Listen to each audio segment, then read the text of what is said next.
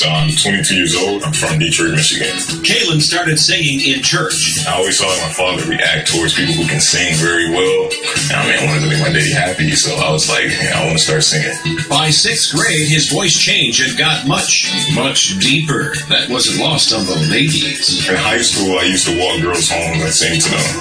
A lot of women, they always ask me, do you know any Barry White songs? Can you sing?